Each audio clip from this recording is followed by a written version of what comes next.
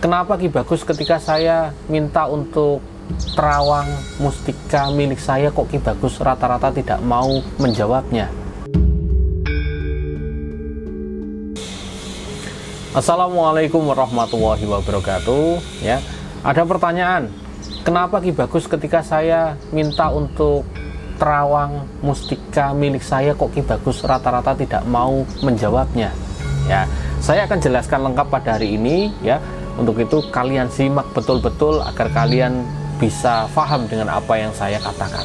Jadi gini, banyak kok chatting yang masuk di handphone saya mengenai Ki, ini mustika saya ini isinya apa Ki? Ki, mustika saya namanya apa Ki? Ki, kodamnya bagaimana? Rata-rata saya menjawab dengan uh, males-malesan. Karena apa? Karena saya tidak mau melangkahi orang yang menjadi kepercayaan Anda.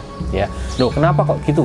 Gini, Ketika kalian mendapatkan mustika, kalian dapat dari mana? Pertanyaan saya. Kalau itu didapatkan dari guru spiritual, dari kakek kalian, dari ayah kalian, dari orang yang kenal kalian, tanyakan dulu kepada mereka, jangan tanya kepada saya. Oke, paham ya? Itu yang pertama. Karena ketika saya memberikan jawaban dari saya, ya, Anda memberikan mustika nih, Ki, ini mustika ini energinya bagaimana? Saya menjawab, kalau tidak sesuai dengan apa kata guru kalian? Ya saya kan berarti melancangi kan di situ. Saya tidak mau semacam itu ya. Kemudian alasan saya lagi kenapa?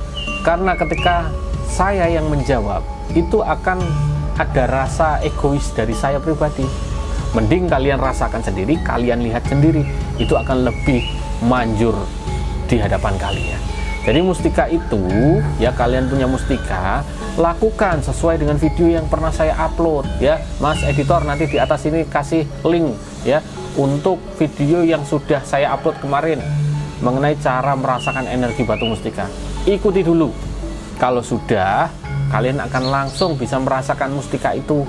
Energinya apa kodamnya bagaimana ya namanya apa ya. Jadi itu akan lebih serak dan meyakinkan di hati kalian masing-masing begitu Kecuali mustika itu berasal dari saya, saya ada kewajiban untuk memberikan penjelasan. Nah itu mustikanya bukan dari saya kok. Ya, paham ya?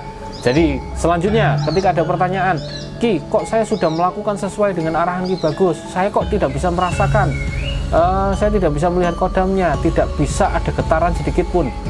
Ada dua kemungkinan, Anda belum peka, yang kedua mustika itu palsu, clear ya, clear ini.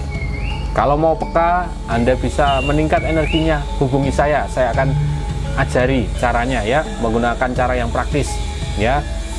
Kalau yang kedua solusinya buang saja itu, nggak ada gunanya. Oke? Jadi gitu, apa yang saya share pada hari ini, ini akan menjawab beberapa pertanyaan kalian yang mungkin masih bingung. Kenapa sih kok kalau saya tanya Ki Bagus, Ki Bagus jawabnya lama mengenai uh, terawangan. Ya memang saya di sini nggak suka untuk terawang-terawang semacam itu ya. Apalagi disuruh nerawang Ki tolong lihat jodoh saya. Wah ini itu melancangi Gusti Allah itu nggak baik itu ya. Saya akan lebih senang ketika kalian ajak konsultasi mengenai masalah yang terjadi. Itu malah saya lebih senang membantu kalian daripada disuruh terawang-terawang. Begitu ya? Oke semoga bermanfaat. Sekian dari saya. Wassalamualaikum warahmatullahi wabarakatuh